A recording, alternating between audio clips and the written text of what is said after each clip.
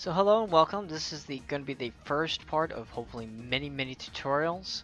Um, these tutorials are going to be centered around helping you get started with the game, get the general grasp of the game to understand some basic routing, and it's going to help help you uh, propel yourself towards uh, getting you on track, basically, getting towards that world record. It's the very first baby step. That's what this is going to be, that very first baby step towards getting those really high-end records, knock out some of these high-end guys. Now what this is not a tutorial about is it's not about taking the most aggressive, most dangerous strategies. It's not at all about that. Uh, not one bit. Uh, so this is generally going to be like a first step style tutorial. Alright? Um, so that's what this is going to be about.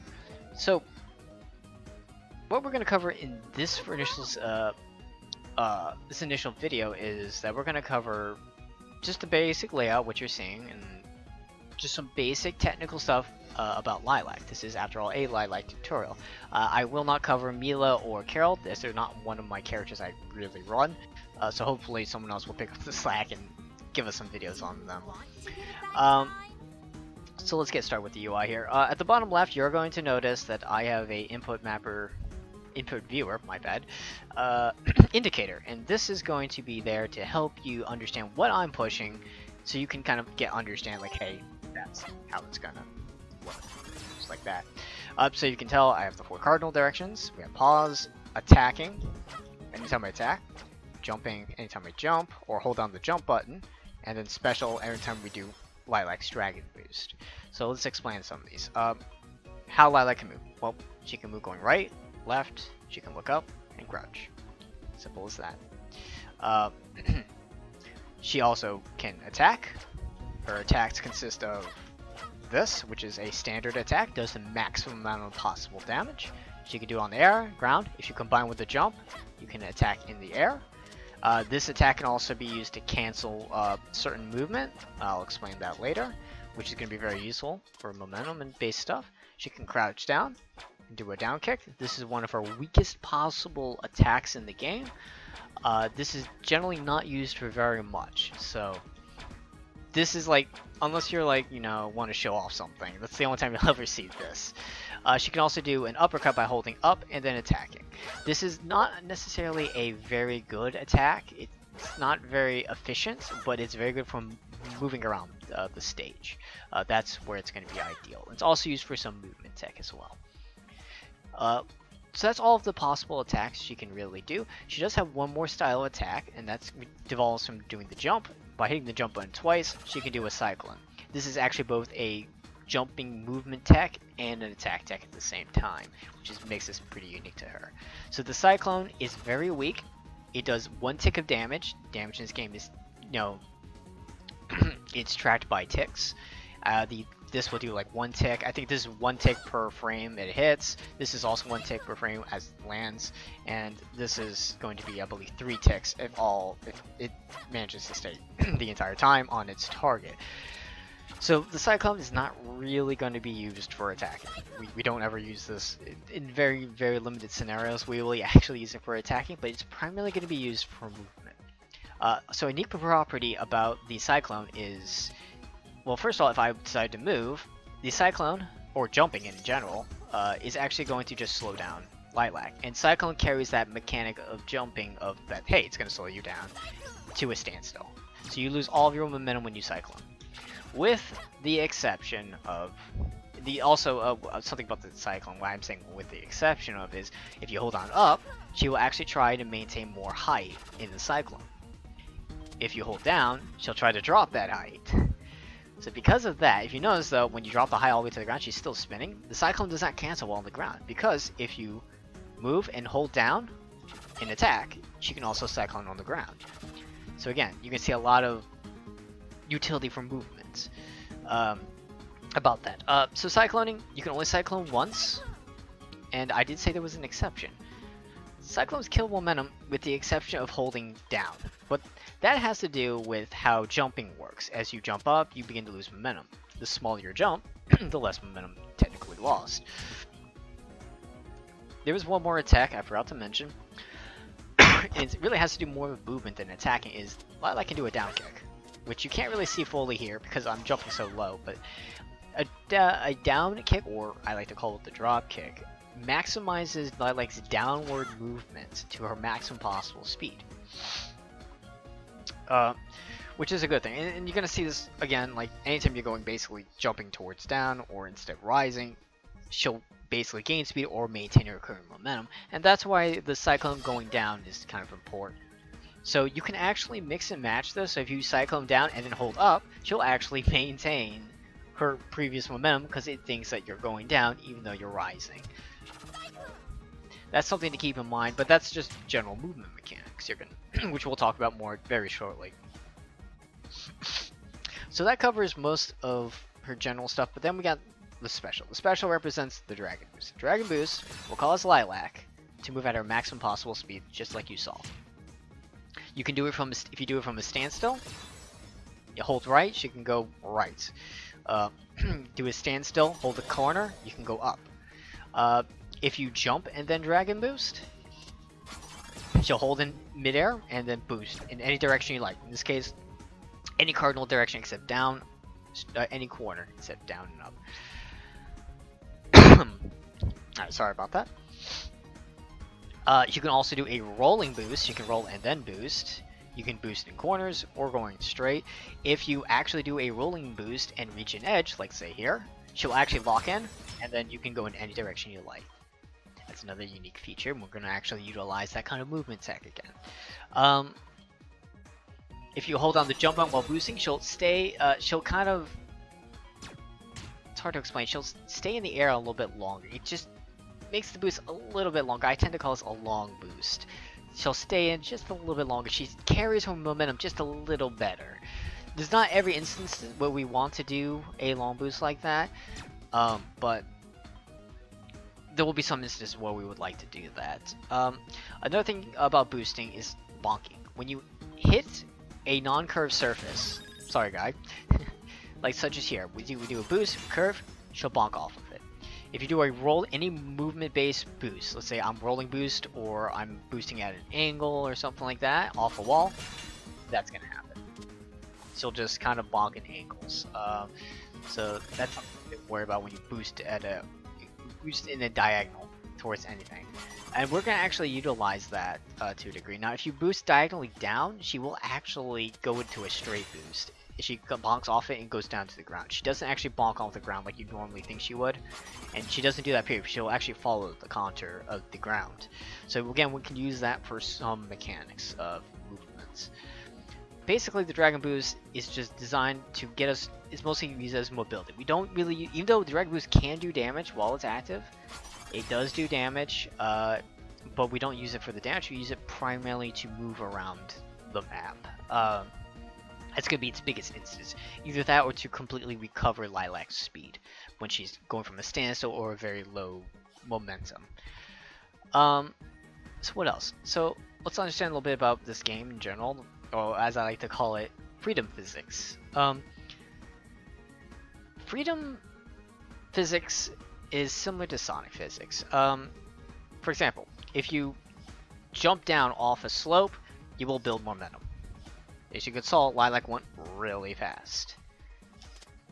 Okay?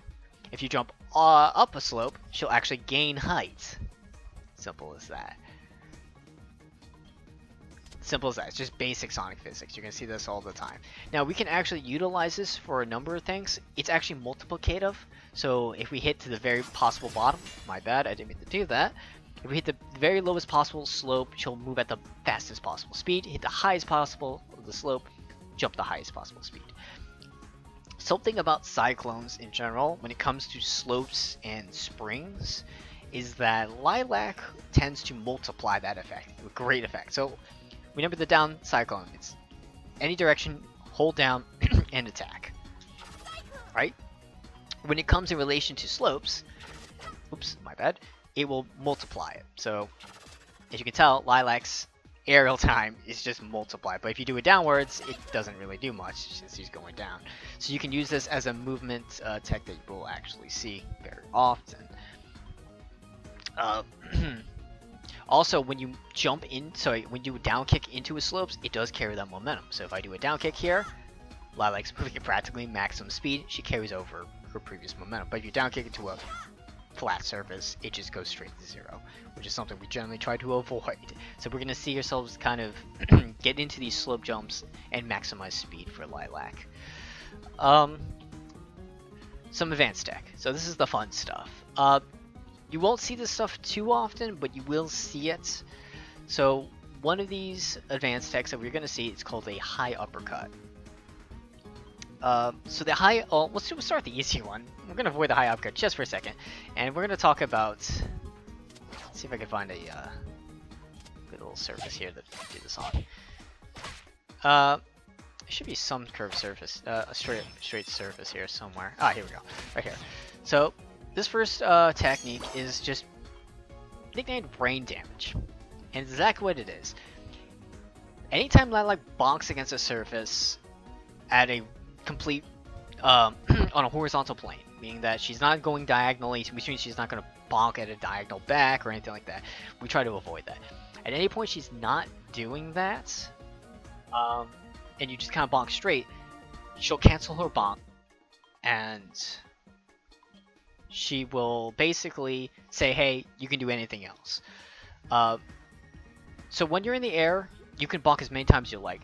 But when it comes to cyclones, you can only ever cyclone once in the air. Uh, for another advanced tactic, I'll explain how to multi you know, use multiple cyclones here, but I'll show you the bonking. So she jumps up and you hold down boost and hold down jump, you can kind of bonk infinitely to climb any wall in the game. This is not used often, but we do use this in some instances to get higher up. It can also be used as a backup strategy. So it's a very good backup strategy, and it causes a lot like a lot of brain damage, as you can imagine. Alright, so I was talking about you can only cyclone once. So if I was to, I don't know, cyclone, cancel, anytime you attack in the air, you cancel a cyclone. So if you notice, I'm trying to hit the cyclone button, but nothing's happening. You can only cyclone once in the air. Even if you bonk off of a surface, you can only cyclone once in the air. Uh, so if I cyclone, cancel, bonk, and the cyclone, nothing's going to come out of it. But if she gets hit, it resets her cyclone counter.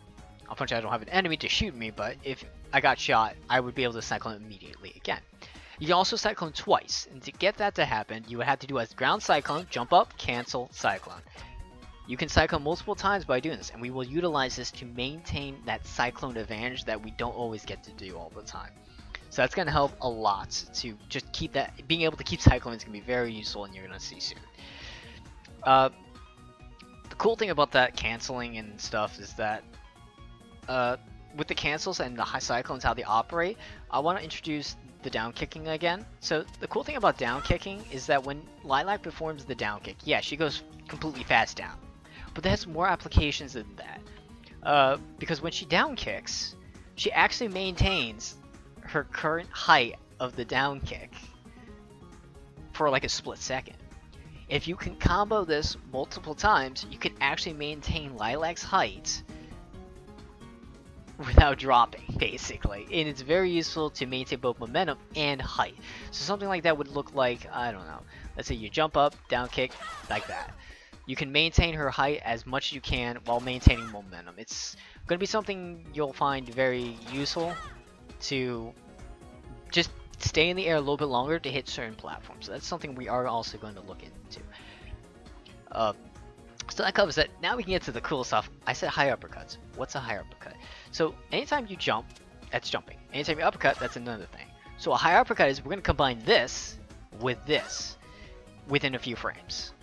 So to do that, and this will uh, basically allow you to jump twice. So to do that, we're going to hold up as if we were doing a, uh, an uppercut, because then we have to hold up and attack to do an uppercut. And to jump, you should say jump. So what happens is, within a few frames of each other, if we hit both the buttons at the same time, she'll do a high uppercut. As you saw, it combined both the height of the uppercut and the jump. It allows you to jump practically twice as high. See? It's literally twice as high. This is extremely useful to getting the higher places without spending energy. Now, there is a few frames of doing it, so if you notice, sometimes when I do this, it doesn't go through. So it is within a couple frames, but it's pretty lenient and it's not difficult. Uh, I do use a controller, so some of these tricks may be a little bit easier on a controller versus a keyboard, others easier on a keyboard than a controller. So that's a high uppercut. Another tech that we will be using extremely limited fashion for this tutorials, but I will bring it up multiple times, it's called a high cyclone. High cyclones are absolutely necessary for maximum optimum time. They are very difficult to do, however, and very unforgiving. So high cyclone uses that same concept as a high uppercut. Within a few frames, you're going to jump and cyclone. Same concept. But the high cyclone itself requires a very precise window. You have three frames to perform this trick. So it's not an easy trick. It's very difficult to get, even for the best players, to get reliably. So if you see this and you're trying and you're getting very frustrated, don't worry. Not even the best players can get like a 70% success rate on this sometimes. So it's okay. We don't, now, we won't use this for core concepts for uh, routing, but we will use it as an alternative for slightly faster times. So here's how it is in action. First, Lilac just jumps, and then we're going to pause almost immediately, and then within three frames of unpausing the game, we're going to have Lilac jump again as if we're doing a cyclone, and it's going to stack the jump and the cyclone together.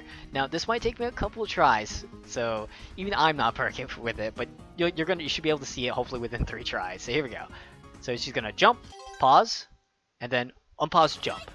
So if you notice she did a really low cyclone, that means you were very close, but you're probably a frame or two off.